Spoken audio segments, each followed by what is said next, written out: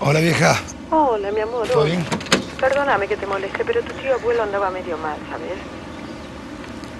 ¿El millonario? Sí, parece que anduvo con mucho nervio. Sabías que los negocios no le estaban yendo bien, ¿no? Ah, no, no, no estaba al tanto. Además, yo no sé por qué se anda haciendo problema con la fortuna que tiene afuera.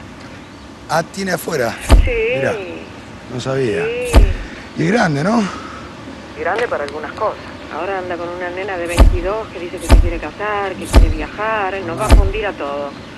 Mamá, basta. Ya está. No te hagas problemas. Va a estar todo bien, vas a ver. Te voy a dejar porque tengo que salir con Andrea que la tengo que pasar a buscar. Te mando Bueno, un un beso. beso, hijito. Chao, vieja. Chao, mi amor. Chao.